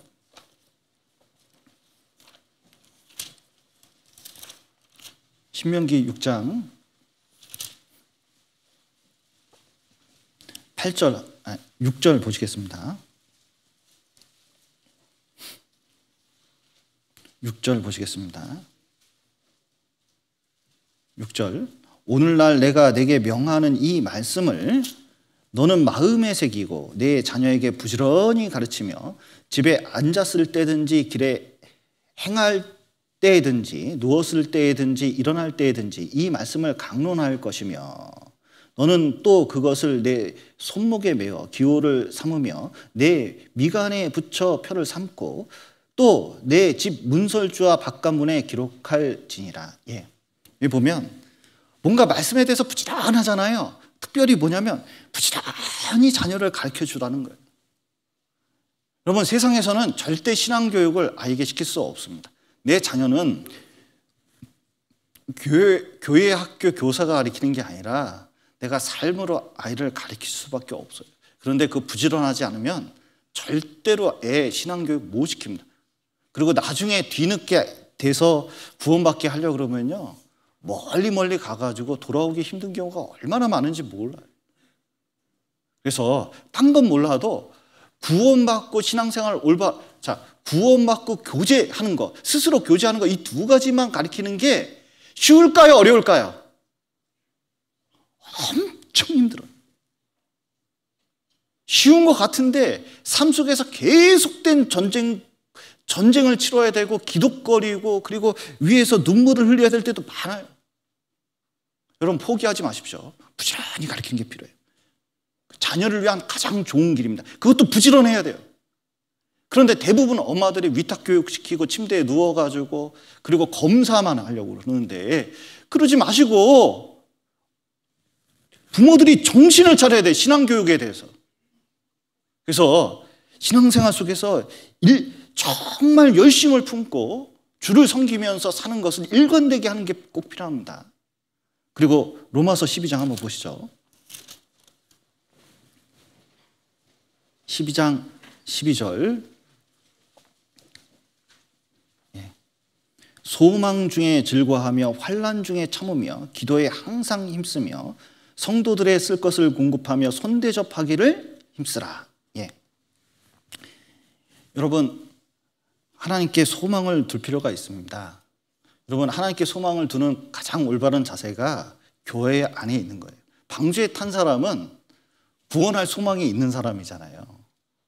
교회에 참석하지 않으면서 하나님께 소망을 둔다 이게 어불성설입니다. 교회 안에 있는 게 하나님께 소망을 두는 방법 중에 하나입니다. 그런데 이 세상 사람들은 세상에 소망을 두려고 그래요. 이 정몽원 씨라고 있었는데 정주영 회장님의 다섯째 아들입니다. 그런데 이제 대북 사업 하면서 이것이 정치적인 문제 때문에 결렬됐어요. 그랬더니 자기 사무실에서 떨어져 죽었습니다. 자살을 택한 거예요. 그런데 이분은 돈이 너무 많아요. 4조 있대, 4조. 그 당시 4조. 여러분, 4조 있으면 죽습니까? 삽니까? 전 진짜 4천만 원이라도 있으면 죽겠어요. 4조 있어요. 그리고 직장이 현대요. 그리고 누가 자기를 자를 사람도 없어요. 보장된 자리예요. 가족이 없는 것도 아니에요. 그러면 죽을 이유가 없잖아요. 근데 떨어져 죽었어요. 유서나 이런 내용들을 보면 이런 분들의 유서를 보면 소망이 없다, 내일이 없다 이런 내용들. 그런데 케르 케고르가 얘기했습니다. 정말 죽음에 이르는 병이 뭐냐? 사람이 죽음에 이르는 병이 있는데 그 병이 이름이 절망입니다. 소망을 잃어버린 거예요. 여러분 보십시오. 암 걸리거나 백혈병 걸려도 치명적이잖아요, 그 병은. 근데 이 병 걸린 사람이 살려고 합니까? 죽으려고 합니까? 대부분 살려고 해요. 병원도 가고 부단히 뭔가 해요. 그런데 놀랍게도 사람이 죽는 그 병목을, 병명을 쭉 보면 대부분 우울증이 1위예요. 각 나라가 선진국일수록. 스스로 소망이 없으니까 자기 목숨을 내던지는 사람이 얼마나 많은지 몰라요. 연말이 되면 사람들이 비전 얘기를 많이 합니다. 왜냐하면 이 세상에서 어떻게 해서든 소망을 잡아야만이 살아나기 때문에. 그런데 보십시오. 학생이 소망이 없어요. 아유, 내 공부해서 뭐 하냐. 그럼 공부합니까? 안 합니까? 공부 안 해요. 여러분, 직장 가진 사람이 아유, 이 직장에 해봤자 뭐 돈을 벌 수가 있냐. 뭐가 나아지겠냐. 그러면 직장 다닙니까? 때려칩니까? 부부 관계도 아유, 이 여자, 이 남자하고 살면 내가 이거 사, 는 맛이 나겠냐. 이러면 그다음부터 무슨 생각해요? 애 데리고 집 떠나는 생각하잖아요. 꿈도 그런 꿈만 꿔요. 그런데 신앙생활도 진짜 하나님께 소망을 두지 않으면 여러분 신앙생활을 자꾸 자꾸 떠나는 쪽으로 택하는 거예요. 그런데 우리가 받은 소망은 확정된 소망입니다. 확실한 소망이에요. 산 소망입니다. 없어지지 않는 소망이에요. 마치 이와 같습니다. 어떤 사람이 로또 복권에 당첨됐어요. 당첨되고 이게, 이게 당첨되려고 이거 샀습니다. 이걸 두 글자라면 희망이에요. 어떤 사람이 당첨된 그 1억 당첨된 복권을 알고 훔쳤어요. 그럼 이걸 뭐라 그러죠? 욕망이라고 그런 겁니다. 훔칠 마음을 품는 걸 욕망이라고 그래요. 근데 로또 복권 당첨되지 않았어요. 보니까 지난 차수 건데 이번 차수하고 번호가 똑같아요. 참 안타까운 경우죠. 그런데 본인이 당첨된지 알고 돈을 막 썼어요. 이거를 폭망이라고 그럽니다. 그런데 어떤 사람이 진짜 당첨이 번호가 맞아서 당첨이 됐어요. 그러면 뭘 기다려요? 다음 주, 다음 주. 다음 주 월요일만 되면 내가 그냥 이거 가서 딱 땡겨 온다. 그러면 자, 돈 들어오는 거 확실해요? 불확실해요? 확실해요. 그런데 주변에서 아이고 돈도 없는 것이 막 이러면은 속상해요. 무슨 생각해요? 월요일만 대봐. 이 생각하지 않겠어요? 주님 오셔봐라 이거 이거 우리 얼마나 큰 소망인지 몰라요. 우리는 확실한 소망이 있습니다. 저는 분열을 되게 좋아하거든요. 그 군대에서 분열이 있습니다. 그러니까 그 쫙 줄 서가지고 앞으로 이갓 그럽니다. 쭉쭉쭉쭉 가요. 그럼 제일 고생하는 사람이 맨 뒤에 있는 사람이에요. 근데 맨 뒤에 있는 사람이 제일 좋아할 때가 뭔지 아세요? 뒤로 돌아 이 갓.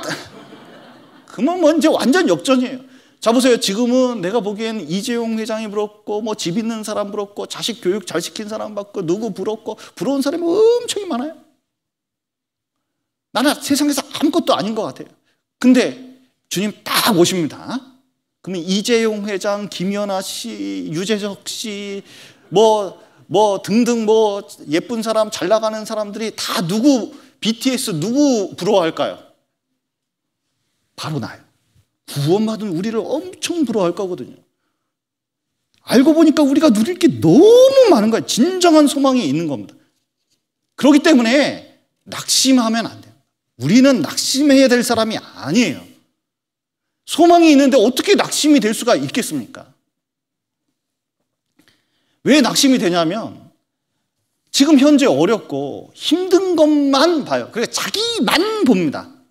이스라엘이 가나안 땅에 들어가라 그랬더니 우리 메뚜기 같은데 우리는 지리도 모르는데 우리는 힘도 없는데 저기 막 거인이고 막 뭐만 안 봤어요? 하나님만 안 봤어요. 그러니까 할 수가 없어요. 그럼 다 모여서 어떻게 했어요? 다 대성통곡해요. 모세를 돌로 쳐 죽이려고 했어요. 다시 돌아가자고. 여러분, 우울감이나 뭐 이런 거 있잖아요. 그거 왜 오죠? 아이고, 너무 힘들다. 이게 왜 옵니까? 성경 보면요. 시편에 보면 다 자기 얘기예요. 다 자기. 자기 힘든 것만 얘기해요. 쫙 자기 힘든 거. 얼마나 힘든지 몰라. 그런데 그 안에 하나님이 하나도 없어요. 그러니까 우울증 걸리지. 우울증 걸릴 때 나하고 또 누구 얘기하는지 아세요? 너 얘기해, 너. 아, 그 사람 얘기해. 근데 하나님 얘기만 없어요. 그런데 그러면 계속적으로 실망이 될 수밖에 없습니다. 우리는 어떻게 돼요? 하나님께서 어떻게 하는지 하나님을 찾아가야 돼요. 그리고 빅터 프랭클의 죽음의 수용소의 그 책을 읽어보면 야 놀라워요. 아무리 튼튼한 사람도 수용소에서 바깥에 나가서 아내 만날 생각, 가족 만날 생각 그 아예 포기한 사람은 거기서 죽는데요. 아무리 삐실삐실해도 밖에 나가서 내 반드시 내 아이는 본다. 이러면 살아난다는 거예요. 소망을 가질 필요가 있습니다. 여러분, 우리 곧 죽어도 하나님 도와주십니다. 그곧 죽어도 천국 가는 사람이에요. 기죽을 필요 있습니까? 없습니까? 졸리셔요? 예. 네, 좀힘 좀 내십시오. 그리고 교회에서 꼭 회복해야 될 것이 한 구절만 읽겠습니다. 여기 13절. 성도들의 쓸 것을 공급하며 손대접하기를 힘쓰라. 여러분, 우리가 이제 코로나 때 음식을 나눠 먹을 수가 없어서 너무 안타까운데 식구라는 게 먹, 그 먹을 식자 입구자잖아요. 먹으면서 친해지는 거거든요. 예수님도 그렇게 하셨습니다. 근데 지금은 당장 그렇게 할 수가 없어서 참 어려움이 있습니다. 그러나 손 대접하기를 힘써야 돼요. 여기 손 대접이라는 게 손으로 대접하는 겁니까? 손님 대접입니까? 어, 저희 임원 모임 옛날에 할 때 손 대접이 손으로 하는 대접인지 알고 계신 분 손들라 그랬더니 절반이 들어서 깜짝 놀랐어요. 손님 대접이거든요. 손님 대접은 꼭 손으로 해야 됩니까? 나가서 먹어도 됩니까? 꼭 손으로 해야 된다고 주장하신 분이 있는데 뭐 일리 있는 말이에요. 손으로 이렇게 대접하는 것 자체는 너무 귀하고 그렇습니다. 근데 상황이 안 될 때가 있거든요. 그 중요한 건 뭐예요? 대접하려는 마음이에요. 어떤 분은 조금 대접하면요. 돈 아끼라고 돈, 돈, 돈 이것만 얘기하시는 분이 있어요. 여러분 하나님이 뒤에 계셔요. 너무 과도히 아끼는 것도 문제가 있는 경우가 있어요. 근데 중요한 것은 형제 자매님들을 위해서 방역수칙 지키면서 커피 한 잔 사드리고 정심대접 한 번 하고 그리고 식구들을 챙기는 것은 소수라도 두세 명이라도 이건 할 수 있는 일입니다. 그래서 아예 그런 것들을 포기하면 안 돼요. 그래서 우리가 좀 이 마지막 시대에 여기 중요한 것들이 있습니다. 자기 자리 지키고 그리고 서로 사랑하고 그 다음에 주일에 열심히 하는 마음을 품고 그리고 이 중에 자꾸 세상은 막 요동을 치는데 이게 그러다 보면 현실에 눌려가지고 하늘에 소망 안 드는 경우가 있습니다. 소망을 가지고 그리고 이제 형제 자매들에 대해서 많이 대접하려고 하는 마음을 가지면서 이렇게 교회를 점점 회복시키고 정상화했으면 좋겠습니다. 같이 기도하시겠습니다. 사랑과 은혜가 풍성하신 하나님 아버지, 죄 가운데 있었던 저희를 주님의 피로 구원하시고 또 몸대인 교회 가운데 교제할 수 있도록 도와주심 감사드립니다. 예, 코로나 속에서 우리 신앙을 돌아볼 수 있도록 도와주시고 또 내년을 준비하는 마음으로 생활 집회를 할 수 있도록 도와주심도 감사드립니다. 우리가 더욱 회복된 신앙을 가지고 내년을 맞이하고 또 어려움 속에서 또 코로나 속에서도 더 힘있게 살아갈 수 있도록 또 회복된 교회를 이룰 수 있도록 도와주시옵소서 오늘 귀한 시간 허락하신 감사드리며 예수님 이름으로 기도드렸습니다. 아멘.